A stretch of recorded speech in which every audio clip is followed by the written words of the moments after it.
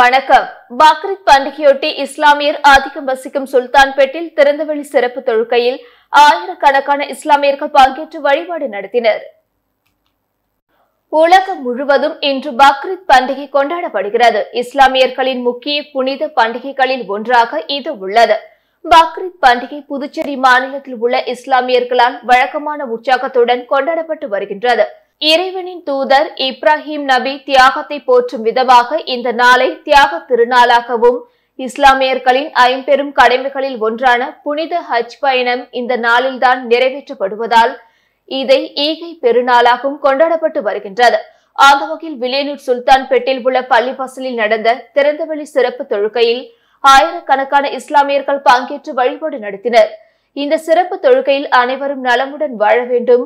நாட்டு மக்களை பாதுகாக்க வேண்டுமென பிரார்த்தனை செய்தனர்.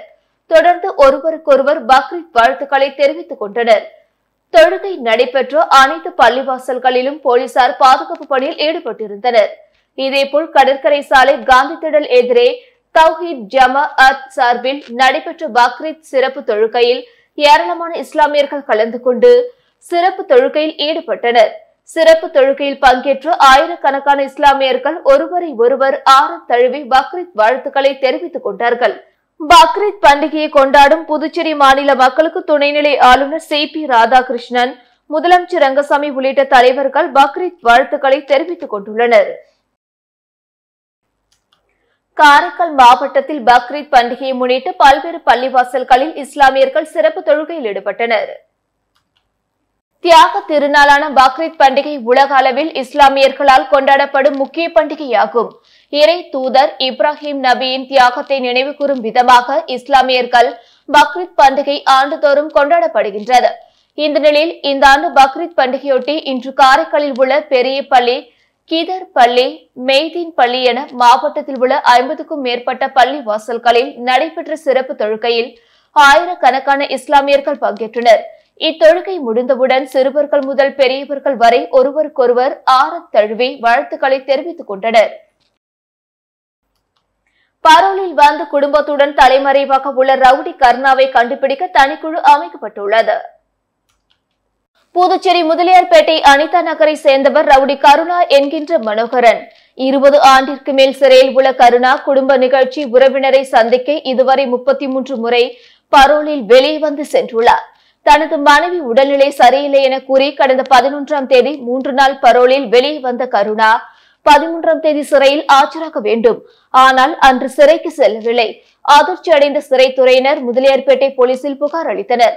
இன்ஸ்பெக்டர் செந்தில்குமார் வழக்கு பதிந்து விசாரித்த போது கருணா அவரது மனைவி மற்றும் குடும்பத்தினர் அனைவரும் மாயமாக இருப்பது தெரிய வந்தது. இதனால் கருணாவை கண்டுபிடிக்க சிறப்பு குழு நியமிக்கப்பட்டனர். கருணாவின் இருப்பிடத்தை கண்டுபிடிக்கும் முயற்சியில் சிறப்பு குழுவினர் ஈடுபட்டு வருகின்றனர். இந்திரா காந்தி மருத்துவக் கல்லூரி மருத்துவமனையில் எண்பத்தி நான்கு பணியிடங்களை நிரப்புவதற்கான சான்றிதழ் சரிபார்ப்பு ஜூன் இருபத்தி நான்காம் தேதி நடைபெறும் என அறிவிக்கப்பட்டுள்ளது. கதிர்கமம் இந்திரா காந்தி மருத்துவக் கல்லூரி மருத்துவமனையின் இயக்குநர் அலுவலகம் வெளியிட்டுள்ள செய்திக்குறிப்பில் புதுச்சேரி கதிர்கமம் இந்திரா காந்தி அரசு மருத்துவக் கல்லூரி மருத்துவமனையில் பேராசிரியர் இணை பேராசிரியர் உதவி பேராசிரியர் மற்றும் புள்ளியியல் நிபுணர் ஆகியவற்றில் எண்பத்தி நான்கு பணியிடங்களை நிரப்புவதற்கான நடவடிக்கை மேற்கொள்ளப்பட்டுள்ளது. அதன் அடிப்படையில் விண்ணப்பித்தவர்களின் சான்றிதழ் சரிபார்ப்பு மற்றும் நேர்காணல் ஜூன் இருபத்தி நான்காம் தேதி தொடங்குகிறது. தொடர்ந்து இருபத்தி ஏழாம் தேதி வரை நடத்தப்பட உள்ளது. நேர்காணலுக்கும் சான்றிதழ் சரிபார்ப்புக்கும் வருவோர் அனைத்து சான்றிதழ்களின் அசலையும் கொண்டு வர வேண்டும். தவறினால் சம்பந்தப்பட்டோர் விண்ணப்பம் நிராகரிக்கப்படும். தேசிய மருத்துவ ஆணையம் விதித்துள்ள நிபந்தனை விதிமுறைகளை விண்ணப்பதாரர்கள் கடைபிடிக்காதது கண்டறியப்பட்டால் பணி நியமனம் ரத்து செய்யப்படும் என குறிப்பிடப்பட்டுள்ளது. உலக மல்லர் கம்பம் தினத்தையொட்டி புதுச்சேரியில் போதை குறித்து விழிப்புணர்வு ஏற்படுத்தும் நோக்கில் சுமார் மூன்று கிலோமீட்டர் தூரம் வரை சிறுவர் சிறுமிகள் மல்லர் கம்பம் விளையாடி விழிப்புணர்வு ஏற்படுத்தியது அனைவரையும் வியப்பில் ஆழ்த்தியது. உலக மல்லர் கம்பம் தினத்தையொட்டி புதுச்சேரியில் போதை ஒழிப்பு விழிப்புணர்வு பேரணி நடைபெற்றது. திறந்த வேனில் சிறுவர் சிறுமிகள் மல்லர் கம்பம் விளையாடிபடி சென்றனர். மேலும் வேன் முன்பு மல்லர் கம்பம் விளையாட்டு வீரர் வீராங்கனைகள் போதை ஒழிப்பு குறித்த பதாகைகளை ஏந்தி விழிப்புணர்வு ஏற்படுத்தினர். பழைய பேருந்து நிலையத்திலிருந்து தொடங்கிய இப்பேரணி அண்ணா சாலை நேரு வீதி மிஷின் வீதி உள்ளிட்ட புதுச்சேரியின் பல்வேறு வீதிகள் வழியாக கடற்கரை சாலை காந்தி சிலை அருகே நிறைவடைந்தது. அங்கு சிறுவர் சிறுமிகள் தொடர்ந்து தங்களது மல்லர் கம்ப விளையாட்டினை செய்து காண்பித்தனர். இதனை புதுச்சேரி மக்கள் மட்டுமின்றி சுற்றுலா பயணிகள் ஏராளமானோர் கண்டு ரசித்தது மட்டுமின்றி புகைப்படம் எடுத்துக் கொண்டனர். அதனைத் தொடர்ந்து பேரணியில் பங்கேற்ற அனைவரையும் பாராட்டி சான்றிதழ் வழங்கப்பட்டது. மாயிலம் பொறியியல் கல்லூரியில் நடந்த பத்தொன்பதாவது பட்டமளிப்பு விழாவில் சந்திரயான் மூன்று திட்ட இயக்குனர் வீர முத்துவேல் மாணவ மாணவிகளுக்கு பட்டங்களையும் பதக்கங்களையும் வழங்கினார். விழுப்புரம் மாவட்டம் மயிலம் பொறியியல் கல்லூரியின் பத்தொன்பதாவது பட்டமளிப்பு விழாவானது இரண்டாயிரத்தி இருபத்தி ஒன்றாம் ஆண்டு. மாணவ மாணவியர்களுக்கு காலையும் அதனை தொடர்ந்து இரண்டாயிரத்தி இருபத்தி இரண்டாம் ஆண்டு மாணவ மாணவியர்களுக்கு மதியமும் நடைபெற்றது. விழாவில் மயிலம் சுப்பிரமணிய சுவாமி கல்வி அறக்கட்டளை தலைவர் மற்றும் மேலாண் இயக்குனர் தனசேகரன் தலைமை தாங்கினார். செயலாளர் மருத்துவர் நாராயணசாமி கேசவன் பொருளாளர் ராஜராஜன் மற்றும் தட்சசீலா பல்கலையின் இணைவேந்தர் டாக்டர் நிலா பிரியதர்ஷினி ஆகியோர் முன்னிலை வகித்தனர். கல்லூரியின் இயக்குனர் முனைவர் செந்தில் வரவேற்றார். முதல்வர் ராஜப்பன் வாழ்த்து பேசினார். சிறப்பு விருந்தினராக டிஆர் டிஎஸ்இன் மூத்த விஞ்ஞானி டிஆர் டிஓ பாதுகாப்பு அமைச்சகம் பெங்களூருவிலிருந்து முனைவர் டெல்லி பாபு விஜயகுமார் சந்திரயான் மூன்றின் திட்ட இயக்குனர் யு ஆர் ராவ் செயற்கைக்கோள் மையம் விண்வெளித்துறை பெங்களூருவிலிருந்து முனைவர் வீரமுத்துவேல் ஆகியோர் கலந்து கொண்டு கடந்த கல்வியாண்டில் தேர்ச்சி பெற்ற மாணவ மாணவிகளுக்கு பட்டங்களையும் பதக்கங்களையும் வழங்கினர். விழாவில் அண்ணா பல்கலைக்கழகம் வெளியிட்டுள்ள தரவரிசை பட்டியலில் இடம்பெற்ற ஒரு தங்க பதக்கம் உட்பட பதினேழு மாணவ மாணவியர்களுக்கு கல்லூரியின் சார்பாக தங்க பதக்கங்கள் வழங்கப்பட்டது. அதனைத் தொடர்ந்து எட்நூற்றி எழுபத்தி ஆறு இளநிலை மாணவ மாணவியர்களுக்கும் இருநூற்றி ஐம்பத்தி இரண்டு முதுநிலை மாணவ மாணவியர்களுக்கும் பட்டங்கள் வழங்கப்பட்டது. விழாவில் துறை தலைவர்கள் பேராசிரியர்கள் மாணவர்கள் மற்றும் பெற்றோர்கள் கலந்து கொண்டனர்.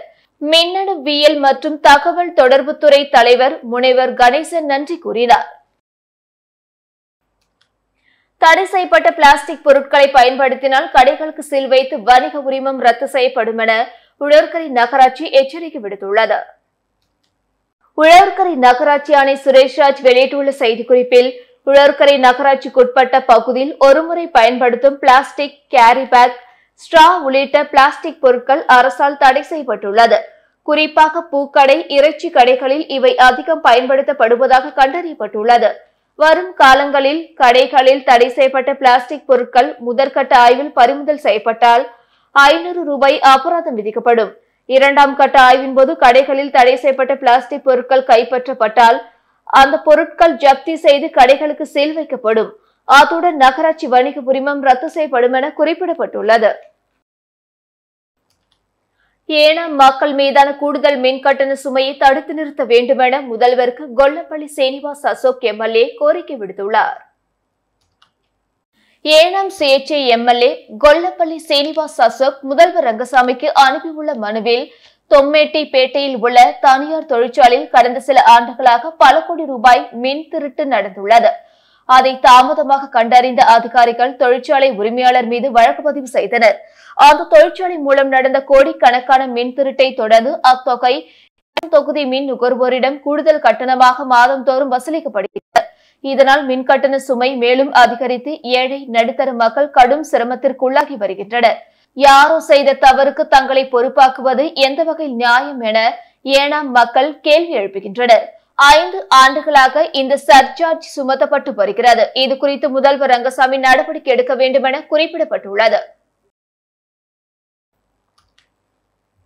நீட் தேர்வில் நடந்த ஊழல் முறைகேடுகள் தொடர்பாக உரிய விசாரணை நடத்த கோரி மாணவர் காங்கிரஸ் சார்பில் கண்டன ஆர்ப்பாட்டம் நடைபெற்றது.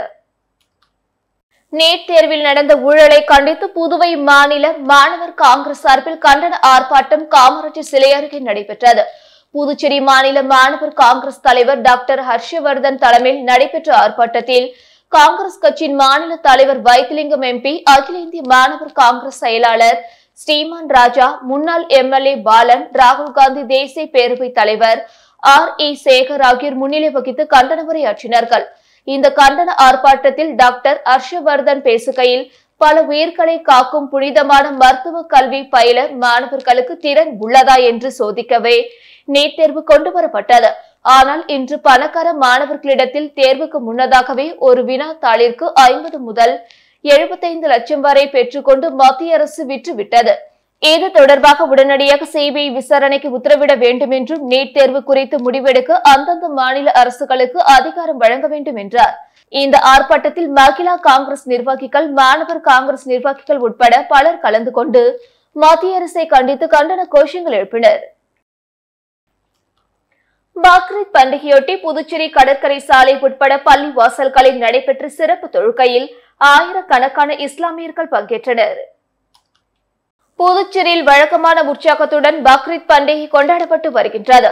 புதுச்சேரியில் முல்லா வீதி பெரிய கடை நெல்லித்தோப்பு சுல்தான்பேட்டை உள்ளிட்ட ஐம்பதுக்கும் மேற்பட்ட பள்ளி வாசல்களில் பக்ரீத் சிறப்பு தொழுகை இன்று காலை ஆறு முப்பது மணி முதல் நடைபெற்றது. சிறப்பு தொழுகையில் ஏராளமான இஸ்லாமியர்கள் பங்கேற்றனர். இதேபோல கடற்கரை சாலை காந்தி திடல் எதிரே நடைபெற்ற பக்ரீத் சிறப்பு தொழுகையில் ஏராளமான இஸ்லாமியர்கள் கலந்து கொண்டு சிறப்பு தொழுகையில் ஈடுபட்டனர். தொடர்ந்து ஒருவருக்கொருவர் பக்ரீத் நல்வாழ்த்துக்களை தெரிவித்துக் கொண்டனர். ஆரோவில் அருகே மீன்கம்பம் சாய்ந்து வாலிபர் பலியான சம்பவம் பெரும் சோகத்தை ஏற்படுத்தியுள்ளது. புதுச்சேரி மாநிலம் சஞ்சீவி நகர் பகுதியை சார்ந்தவர் கந்தன் கூலி தொழிலாளியான இவரது மகன் அவினாஷ் தனது வீட்டிலிருந்து தனது இருசக்கர வாகனத்தில் திருச்சிற்றம்பலம் நோக்கி சென்று கொண்டிருந்த பொழுது புதுச்சேரி தமிழக எல்லையான கோட்டக்கரை அருகே திடீரென பழமை வாய்ந்த பனைமரம் சாலையோரத்தில் உள்ள மின்கம்பத்தில் விழுந்தது. இதில் மின்கம்பங்கள் சாய்ந்து விழத் தொடங்கின. இதில் அவ்வழியாக வந்த அவினாஷ் மேல் மின்கம்பம் விழுந்ததில் பலத்த காயமடைந்தார் உடனே அருகில் இருந்தவர்கள் அவினாஷை புதுச்சேரி ஜிப்மர் மருத்துவமனைக்கு சிகிச்சைக்காக அனுப்பி வைத்தனர். அங்கு அவர் சிகிச்சை பலனின்றி அவினாஷ் உயிரிழந்தார். இந்த சம்பவம் குறித்து ஆர்வல் போலீசார் வழக்கு பதிவு செய்து விசாரணை நடத்தி வருகின்றனர். ஊசோடு சட்டமன்ற தொகுதிக்குட்பட்ட கோபாலன் கடை பகுதியில் கழிவுநீர் வாய்க்கால் தூர்வாரும் பணியினை அமைச்சர் சாய் சரவணன்குமார் தொடங்கி வைத்தார். ஊசோடு சட்டமன்ற தொகுதிக்குட்பட்ட கோபாலன் கடை பகுதியில் சுமார் ஐநூற்றி ஐம்பது மீட்டர் நீளத்திற்கு கழிவுநீர் வாய்க்கால் கட்டுவது சம்பந்தமாக கடந்த வாரம் பொதுப்பணித்துறை அதிகாரிகளுடன் ஊசோடு தொகுதி சட்டமன்ற உறுப்பினரும் அமைச்சருமான சாய் சரவணன்குமார் அப்பகுதிக்கு நேரில் சென்று ஆய்வு மேற்கொண்டார். அதில் முதற்கட்டமாக வாய்க்கால் தூர்வாருவதாக பொதுமக்களிடம் உறுதியளித்தார். அதன் தொடர்ச்சியாக கோபாலன் கடை பகுதியில் உள்ள கழிவுநீர் வாய்க்கால் பகுதியில் தூர்வாரும் பணியினை அமைச்சர் சரவணன்குமார் இன்று தொடங்கி வைத்தார்.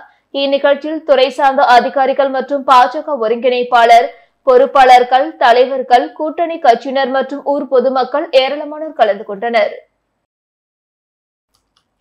வீராம்பட்டினம் பகுதியில் உள்ள ஸ்ரீ செங்கல்நீர் அம்மன் ஆலயத்தின் திருப்பணி துவக்க விழா சிறப்பு பூஜைகளுடன் துவங்கியது.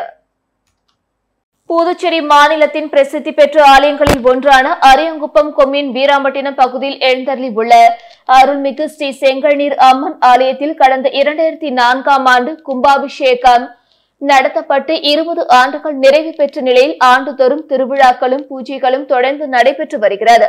இச்சூழலில் இவ்வாலயத்தில் திருப்பணிகள் செய்து குடமுழக்கு விழா நடத்திட கிராம பொதுமக்களால் தீர்மானிக்கப்பட்டது. அதன் துவக்க விழாவாக இவ்வாலயத்தில் கலஸ்த ஸ்தாபனம் செய்து சிறப்பு பூஜைகள் நடைபெற்று திருப்பணி துவக்க விழா நடைபெற்றது. இதில் இவ்வாலயத்தில் சேதமடைந்துள்ள சிற்பங்கள் மற்றும் கட்டிட வேலைகளை செப்பனிடப்பட்டு புதிய வண்ணங்கள் பூசப்பட்டு ஓராண்டு நிறைவுக்குள் கும்பாபிஷேகம் நடத்திட திட்டமிடப்பட்டுள்ளது. இதன் துவக்க விழாவில் சிறப்பு விருந்தினராக சட்டப்பேரவைத் தலைவர் ஏம்பலம் செல்வம் குடிமைப்பொருள் வழங்கல் துறை அமைச்சர் சாய் சரவணகுமார் சட்டமன்ற உறுப்பினர் பாஸ்கர் என்கிற தட்சிணாமூர்த்தி ஆகியோர் விழாவில் கலந்து கொண்டு திருப்பணி வேலைகளை துவக்கி வைத்தனர். மேலும் இந்நிகழ்ச்சியில் முக்கிய விருந்தினர்களாக கொம்யூன் பஞ்சாயத்து ஆணையர் ரமேஷ் காங்கிரஸ் பொதுச் செயலாளர் சங்கர் வட்டார காங்கிரஸ் தலைவர் ஐயப்பன் திமுக இலக்கிய அணி அமைப்பாளர் சிவசங்கரன் அதிமுக மாநில பொருளாளர் ரவி பாண்டுரங்கன் தொகுதி கழக செயலாளர் ராஜா தொகுதி தலைவர் ராஜேந்திரன் வார்டு கழக செயலாளர் பன்னீர்செல்வம் ரவி அதிமுக நிர்வாகிகள் சமூக சேவகர் குமாரவேலு உள்ளிட்ட ஏராளமானோர் இவ்விழாவில் கலந்து கொண்டு சிறப்பித்தனர். இவர்களுக்கு ஆலய திருப்பணிக்குழு சார்பில் தாழ்வு அணிவிக்கப்பட்டு மரியாதை செய்யப்பட்டது. இவ்விழாவிற்கான ஏற்பாடுகளை ஆலய நிர்வாக குழு அதிகாரி சுரேஷ் மற்றும் திருப்பணிக்குழு தலைவர் மகாலிங்கம் தலைமையிலான குழுவினர் மற்றும் கிராம நிர்வாகிகள் ஆகியோர் இணைந்து செய்திருந்தனர். புதுச்சேரியை சேர்ந்த பெண்ணுக்கு தங்க பரிசு பொருட்கள் வந்துள்ளதாக கூறி ரூபாய் இரண்டு புள்ளி இரண்டு ஒன்று லட்சம் நூதன மோசடியில் ஈடுபட்டவர்கள் குறித்து போலீசார் விசாரணை நடத்தி வருகின்றனர். புதுச்சேரி லாஸ்பேட்டை சேர்ந்தவர் தேவசேனா. இவரிடம் அறிமுகமில்லாத மர்ம நபர் முகநூலில் பழக்கமாகி உள்ளார் அதன் அடிப்படையில் சில நாட்களுக்கு முன்பு தேவசேனாவின் மகனுக்கு ஒரு பரிசு பொருள் பார்சலாக அனுப்பியுள்ளதாகவும் நிறைய தங்கம் இருப்பதாகவும் இதற்கு வரித்தொகை செலுத்த வேண்டும் எனவும் மர்ம நபர் கூறியுள்ளார். இதனை நம்பி தேவசேனா ரூபாய் இரண்டு புள்ளி இரண்டு ஒன்று லட்சத்தை அந்த மர்ம நபர் கூறிய வங்கிக் கணக்கிற்கு அனுப்பி ஏமாந்துள்ளார். இதேபோல் புதுச்சேரி திலகர் நகரை சேர்ந்த கௌசல்யா ரூபாய் ஐம்பதாயிரம் காரைக்காலை சேர்ந்த கவிதா ரூபாய் பதினைந்தாயிரம் குனிச்சம்பட்டை சேர்ந்த பிரபு என்பவரின் சகோதரி ரூபாய் நாற்பத்தி நான்காயிரம் மற்றும் ரவீந்திரநாத் ரூபாய் எழுபத்தி இரண்டாயிரம் என புதுச்சேரியில் ஓரிரு நாட்களில் மட்டும் ஏழு பேரிடம் ரூபாய் நான்கு புள்ளி இரண்டு மூன்று லட்சம் இணையதளம் வழியாக மோசடி செய்யப்பட்டுள்ளது. இது குறித்து அளிக்கப்பட்ட புகார்கள் பற்றி இணையவழி குற்றப்பிரிவு போலீசார் வழக்கு பதிந்து விசாரித்து வருகின்றனர். இத்துடன் செய்திகள் நிறைவடைந்தன. வணக்கம்.